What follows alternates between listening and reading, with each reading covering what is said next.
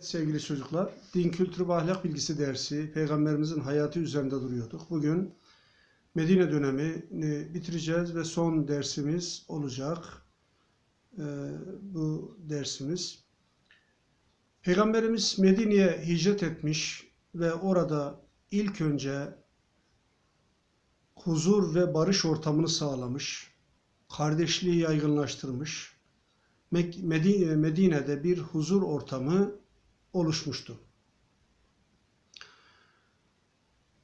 632 yılı geldiğinde çocuklar Peygamberimiz hac yapmak için yaklaşık 100 bin kişilik bir kalabalıkla Mekke'ye gitti. O yıl Cebrail Peygamberimize hatim yapmak için iki defa gelmişti. Her yıl Cebrail gelirdi, Peygamberimiz de Kur'an'ı baştan sona karşılıklı okurlardı birbirlerine. O yıl iki defa gelmişti. Yine Peygamberimiz her yıl Ramazan'ın son 10 günü itikafa çekilirdi. Bu yıl itikafa iki defa girmişti. Son 20'sinde girmişti. Bunlar Peygamberimizin vefat edeceğine işaretti çocuklar. İnsanlar da bunu bildiği için 632 yılındaki hac e, mevsiminde hacda bulunmak istediler ve büyük bir kalabalıkla Mekke'ye hacca gittiler. Biz buna veda haccı diyoruz. Peygamberimiz orada bir hutbe verdi. Yani insanlara bir konuşma yaptı. Biz buna da veda hutbesi diyoruz. Veda hutbesinde Peygamberimiz şunları ön plana çıkardı. İnsanlar eşittir. Yani insanın rengi, dili, dini, ırkı ne olursa olsun insanlar birbirine eşittir. Bugün halen bakın günümüzde Amerika'da değil mi insanlar siyah oldukları için öldürülüyorlar. Yani malları ve canları ve namusları insanların dokunulmazdır. Yani insanların mallarına, canlarına ve namuslarına dokunamazsınız. Kan davaları veda hutbesinde bitirilmiştir. Kan davası güdülmeyecektir. Faiz kaldırılmıştır. İnsanların ekonomik bir sömürü düzeni olan faiz kaldırılmıştır. Eski inançlara dönmeyin diye Peygamberimiz insanları uyarmıştır. Benden sonra eski dininize dönmeyin. O bıraktığınız kötü adetleri, kötü alışkanlıkları geri getirmeyin. Ve şöyle söylemiş, ümmetine iki şey bırakmış, size iki şey bırakıyorum. Kim buna sarılırsa dalalete, sapıklığa, kötü yola düşmez demiş. Bunlar da birisi Allah'ın kitabı Kur'an-ı Kerim ve diğeri de benim sünnetim. Kim bu ikisine sarılırsa kötü yola düşmez, doğru yola erişir demiş Peygamberimiz. 632 yılında iyice hastalandı, rahatsızlığı iyice arttı çocuklar Peygamberimizin. Artık e, Mescid-i Nebevi'ye gidemez oldu ve e, namazları Hazreti Ebu Bekir'in kıldırmasını emretti. 8 Haziran 632 tarihinde de Mescid-i Nebevi yanındaki evinde hayata gözlerini yumdu çocuklar. Mezarını nereye yapacağız diye düşündüler. Aralarında sahabelerin tartışma çıktı ve e, en son peygamberimizden işte peygamberler kendi evlerine defnedilirler. Hadisini duyan e, birisi bunu söyleyince peygamberimizi de yine kendi odasına, kendi evine, Mescid-i Nebevi'nin yanına defnettiler. Şu anda peygamberimiz e, Mescid-i Nebevi'de, e, Medine'de e, mezarı bulunmaktadır. Peygamberimizin mezarı ile namaz kıldırdığı yer arasına, mihrabı arasına Ravza-i Mutahhara diyoruz çocuklar. Ravza-i Mutahhara demek temiz gül bahçesi demek. Ravza bahçe demek, mutahhar temiz demek. Temiz gül bahçesi anlamına gelir. Peygamberimizin kabrine Ravza-i Mutahhara da deniyor o bölüme. Şurada biz peygamberimizi ne yapıyoruz? Kıyamete kadar bütün Müslümanlar ona anıyor, ona salavat getiriyoruz. Salavat getiririz değil mi? Allahümme salli ala Muhammedin ve ala Ali Muhammed deriz.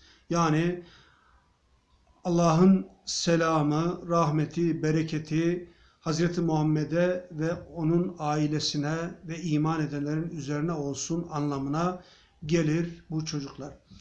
Çocuklar ehli beyt dediğimizde ehli beyt de peygamberimizin ailesine ehli beyt diyoruz. Yani peygamberimizin hanımları, çocukları, torunları bunlara ehli beyt diyoruz. Beyt ev demek zaten. Ev ehli, ev ahalisi.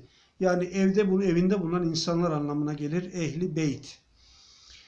Ee, Allahümme salli ve barik dualarını biz çocuklar e, namazlarda her gün okuyoruz değil mi? Böylelikle her namazımızda biz peygamberimize salavat getirmiş ol- oluyoruz. Allahümme salli ala Muhammedin ve ala ali Muhammedin kema salleyte ala İbrahim ve ala ali İbrahim inneke hamdun mecid. Allahümme barik ala Muhammedin ve ala ali Muhammedin kema barikte ala İbrahim ve ala ali İbrahim inneke hamdun mecid. Allah'ım Hazreti İbrahim ve ailesine e, rahmet ettiğin gibi Hazreti Muhammed ve ailesine de rahmet et. Şüphesiz sen övülmeye layıksın. Şan ve şeref sahibi olan sensin. Yine Allah'ım Hazreti İbrahim ve ailesine bereket verdiğin gibi Hazreti Muhammed ve ailesine de bereket ver. Şüphesiz övülmeye layık olan sensin. Şan ve şeref sahibi sensin diye her namazımızda biz peygamberimize ne yapıyoruz? Salavat getiriyoruz çocuklar. Bütün salat, selam ve e, onun üzerine olsun. O bize böyle güzel bir din bıraktı. Eğer bu dine biz de sarılırsak hem dünyamızda kurtuluşa ermiş oluruz hem ahirette de cennete kavuşmuş oluruz çocuklar. Şurada Peygamberimiz bakın cahiliye döneminde öyle bir toplum alıyor değil mi?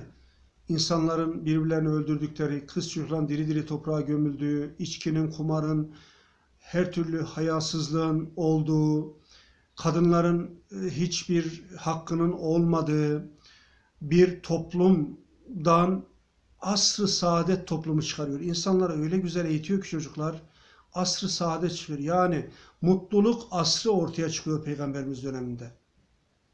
İşte biz de İslam'ı güzel bir şekilde yazar, yaşar, yaşayabilirsek o e, saadet asrına biz de ulaşabiliriz. Diğer bir konumuz temizlik çocuklar. Temizlik, İslam temizliğe çok önem vermiştir.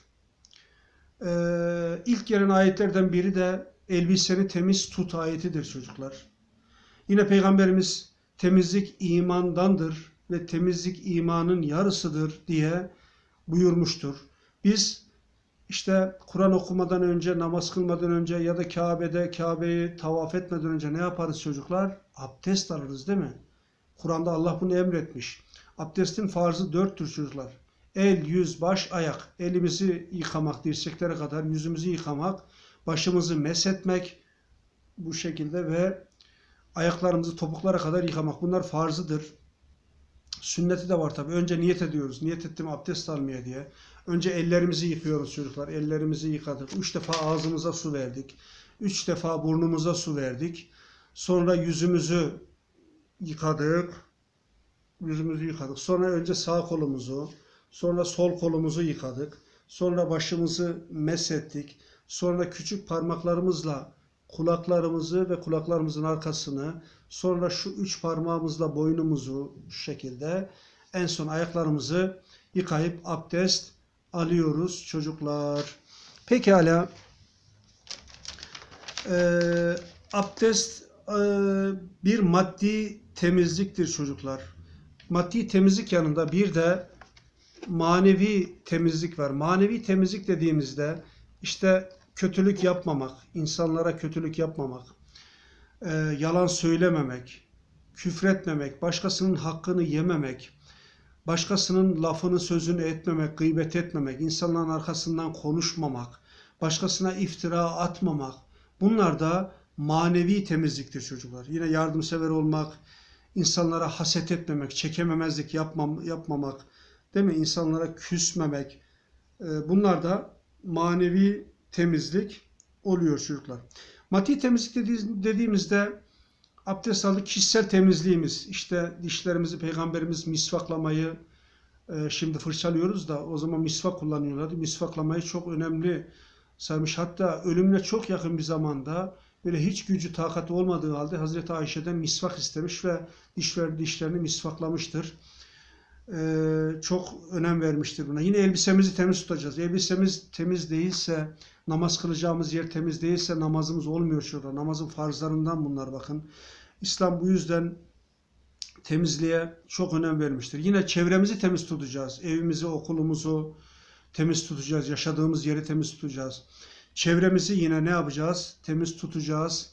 Ee, çevremizi de kirletmeyeceğiz. Çünkü bu da bir kul hakkına giriyor. İnsanlara bu şekilde zarar vermiş oluyoruz. Hele şu anda koronavirüsle uğraştığımız bir dönemde temizliğimize bir kat daha fazla dikkat etmemiz gerekir.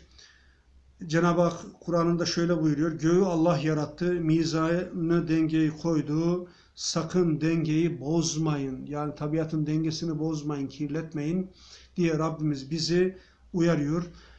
Ee, Peygamber e, uyarıyor dedik. Çocuklar konumuzu burada bitiriyoruz. Ee, kitabımızdan 100 ve 120 arasını bir okuyun. Oradaki etkinlikleri, soruları cevaplayalım. Kitabımız bu şekilde bitmiş, bitmiş olsun. Bir daha söyleyeyim. 100'den 120'ye kadar okuyalım. Sorumuz da şu olsun. Peygamberimiz hangi şehirde yatıyor? Şu anda Peygamberimizin mezarı hangi şehirde bulunmaktadır? Bunu da yorum bölümüne cevabı yazalım. İyi günler diliyorum.